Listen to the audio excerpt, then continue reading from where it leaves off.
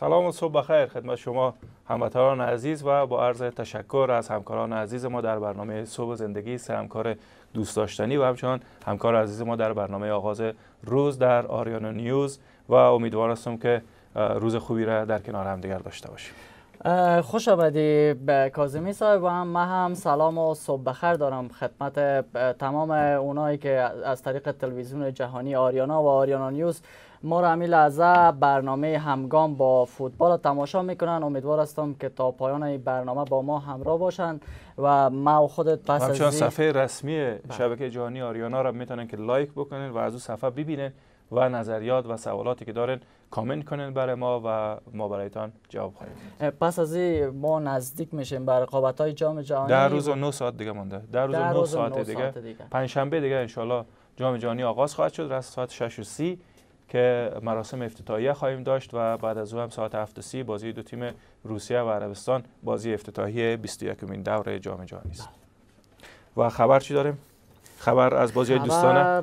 از بازی های دوستانه است که دیشب برزیل با گل های نیمار و فیرمینو دو بر صفر کرواسی را در ورزشگاه آنفیلد لیورپول شکست داد. اسپانیا با نتیجه یک بر یک برابر سوئیس تن به تساوی داد. کاستریکا سه بر صفر ایرلند شمالی را مغلوب کرد و عربستان سعودی و تیم پرو که هردوشان در جام جهانی 2018 روسیه حضور دارند تیم پرو آمد و با سه گل عربستان سعودی را شکست داد.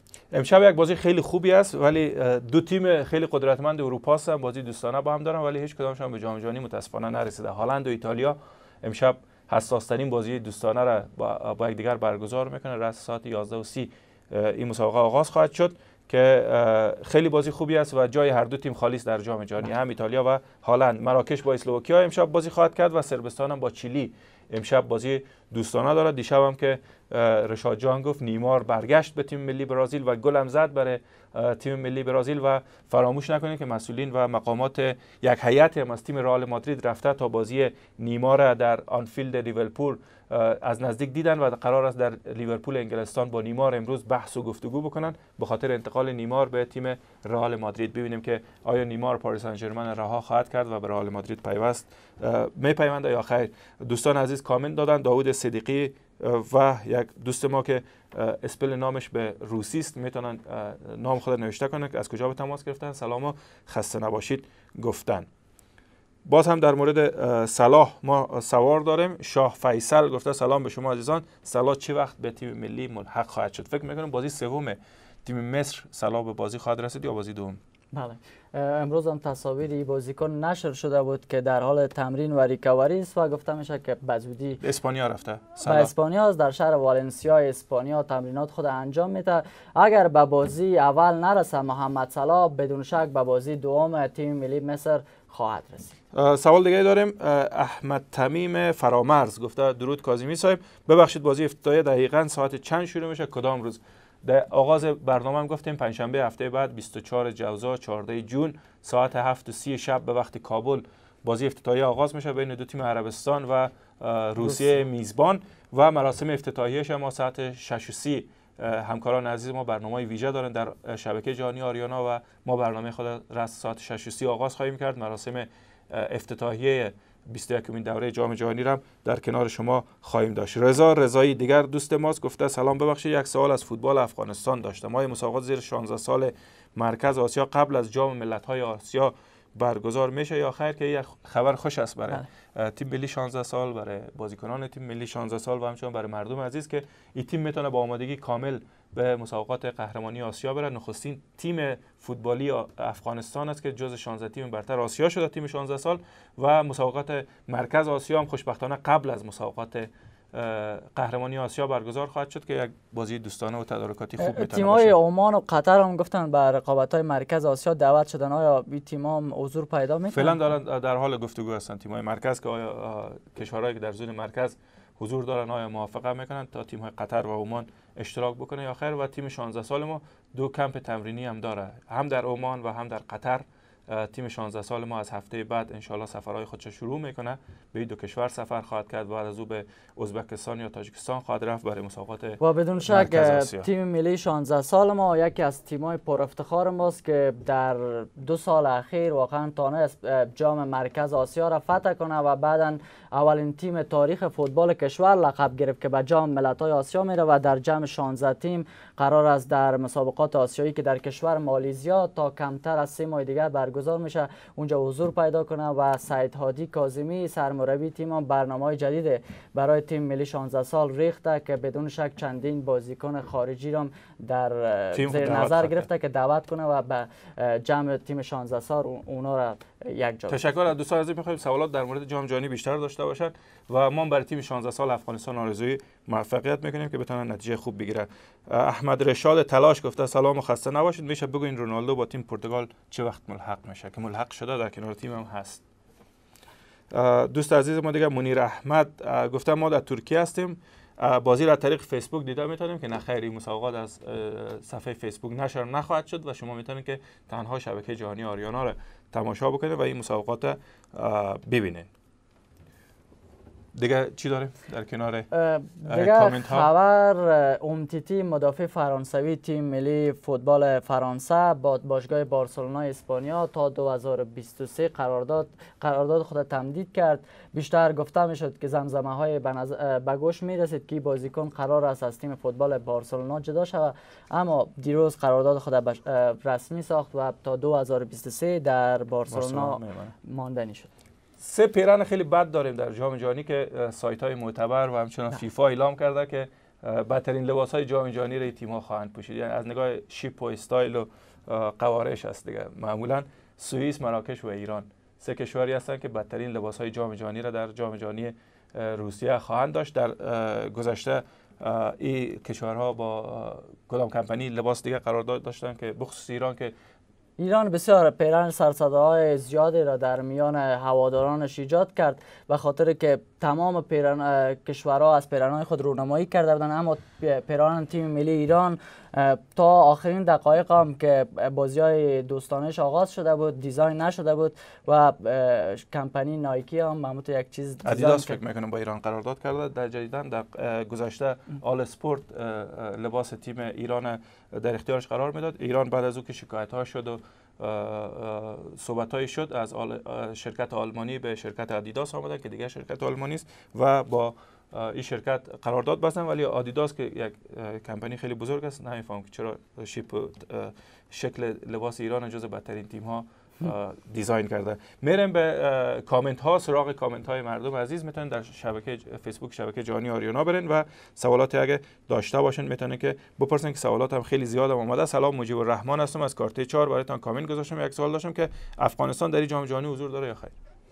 خب افغانستان در جام جهانی حضور نداره. ما خیلی فرصت های دیگه پیش رو داریم که اول بتانیم در جام ملت های آسیا حضور پیدا کنیم و بعدا هم روی جام جهانی برنامه ریزی داشته باشیم. خب میلاد احمد میلاد احمد گردیوال گفته سلام کاظمی صاحب میشه بگین که گزارش دیدارهای جام جهانی را کی می‌دهد و یک سوال دیگه که تیم مربی تیم ملی فوتبال چه خبر از مربی تیم ملی فوتبال؟ از تیم ملی فوتبال افغانستان. تیم ملی فوتبال افغانستان. گزارش جام جهانی خوشبختانه تلویزیون آریانا به عهده من گذاشته در حالی که دیگه همکارانم به من خواهند پیوست و چندین گزارشگر خواهیم داشت در جام جهانی. امسال و همچنان مربی تیم ملی هم بعد از جام جهانی معرفی خواهد شد. مربی تیم ملی فوتبال افغانستان. دوست دیگه ما از مزار شریف کامنت گذاشتن. احسان کریمی گفته سلام آقای کاظمی. همکار شما خدا و همکار شما که جناب رشاد مشعل هستند گفته خدا کنه جور سعد باشه نحسان الله از مزار شریف. تشکر از شما و گفته تیم مورد علاقه ما آلمان است. شما طرفدار کدام تیم است؟ هر دوی خب، ما را گفته. به خاطر مسابقات جام جهانی است باید بی‌طرف باشه. خب یک تیم باید علاقمندش باشیم. خب بدون شک نمی‌خوای بگی؟ پرتغال است 100 درصد. پرتغال نیست آلمان است. آلمان پرتغال دومه. خب من بگم من طرفدار یک تیم بودم که هیچ نیامد به جام جهانی طرفدار هالند. فکر کنم ایتالیا بود هالند. من طرفدار هالند هستم که هیچ به جام جهانی نیامده پس فعلا طرفدار تیم ملی فوتبال افغانستان هستم که در جام جهانی هم نیست.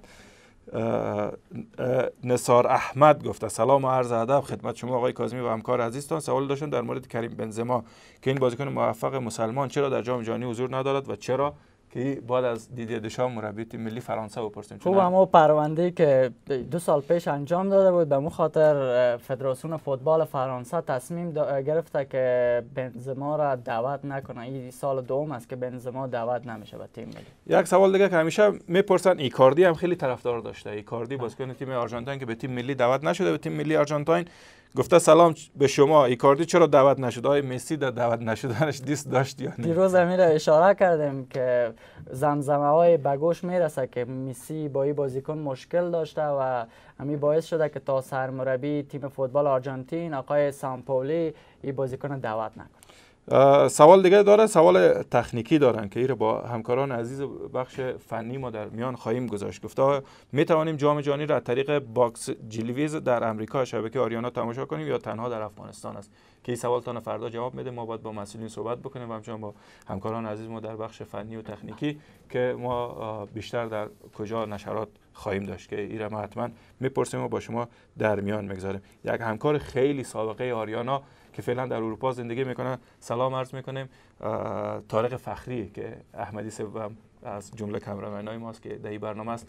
سلام عرض می‌کنه طارق فخری که در گذشته سالها در کنار ما بود در برنامه های مختلف جام و به عنوان کمرمن کار می‌کرد. گفته سلام علی جان به شما و همکار شما. طارق فخری هستم. سوال داشتم های جام جهانی را در کشور آلمان هم می‌تونیم ببینیم؟ فعلا فخری در آلمان است. سلام عرض می‌کنیم ببینیم دیگه. گفتیم این سوال برایتان فردا جواب میدیم طارق فخری. خوب خودت معرفی کردی در حالی که ما می‌شناسیم دیگه طارق جان. سوال بعدی را عرفان اوریا پرسیده گفته سلام به شما. عرفان هستم از کابل جان. جایی که ما زندگی می‌کنیم نشرات شما کمی ضعیف است. نمیشه کاری بکنین لطفا بریم جواب بدین.